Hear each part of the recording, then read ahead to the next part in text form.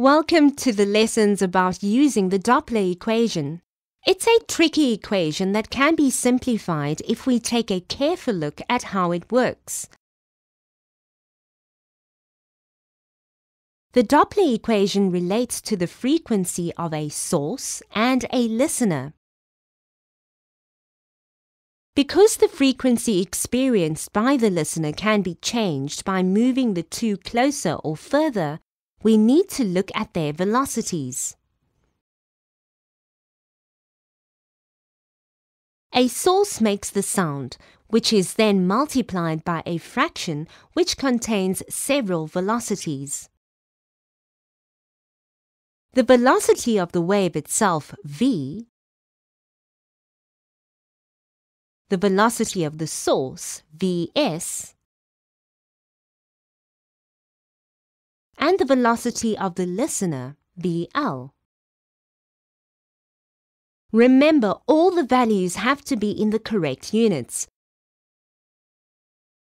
So, when all of those are combined, they equal the new or experienced frequency by the listener in hertz, of course. The fraction in the middle is probably the most confusing part of the equation. It has pluses, minuses, and several velocities, but before we substitute, we need to simplify it. We need to first predict if the frequency will be made larger or smaller.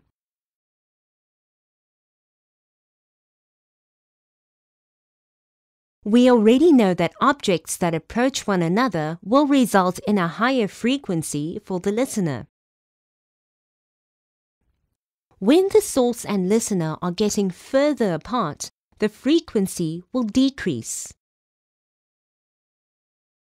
Remember this, because Doppler calculations can be tricky, but if you know the type of change that should happen, it's not difficult to fix.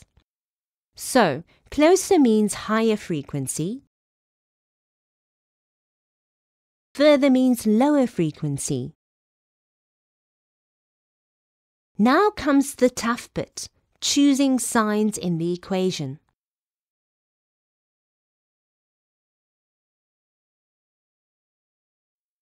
In the first part of Doppler, we'll only be dealing with one object moving. Either the source or the listener, not both. So, you can eliminate some of the complicated bits. This makes a little more sense now. Let's study a source that is approaching us. So, let's see what that actually means. When the source is moving toward a listener, we know that the frequency should be increasing, so the fraction must get bigger. So when using the velocity of a source, use the first equation. Since the velocity of the source, Vs, is in the denominator, we have to use the negative sign. So the bottom part of the fraction is smaller. Let's put some numbers into this. The ambulance in the picture is making a 500 Hz noise while traveling at 25 meters per second towards the listener. The speed of the sound in this example is 340 meters per second.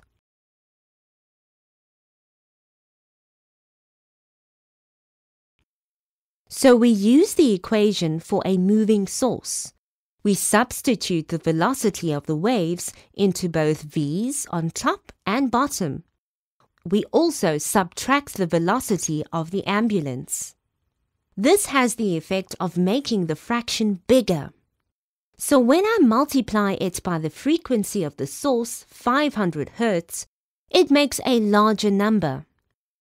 An observer would hear the siren at about 539.68 Hz. That means that the listener frequency is larger than the source frequency, just as we predicted. The prediction part of your approach is vital when looking at these questions, as it's quick to realize when you've made a mistake with sign or maybe even chosen the wrong equation.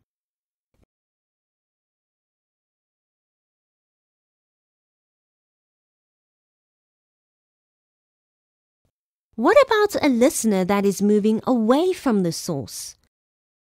We know that should result in a lower frequency. Let's work through an example together. In this example, the ambulance is now parked stationary and another vehicle is leaving the scene of the accident.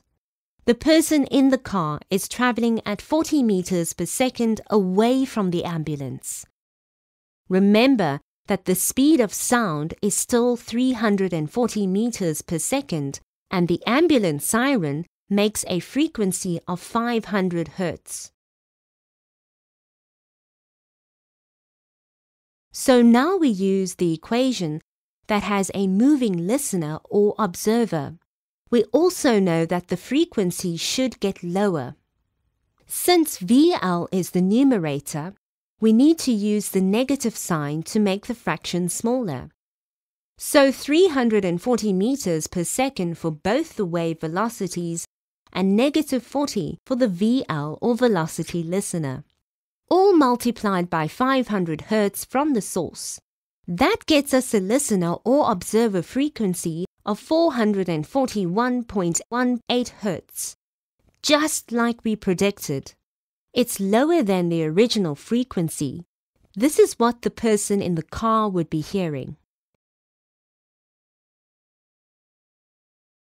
Remember, learning to predict the change in frequency is key to making sure that Doppler is an easy part of any exam you write.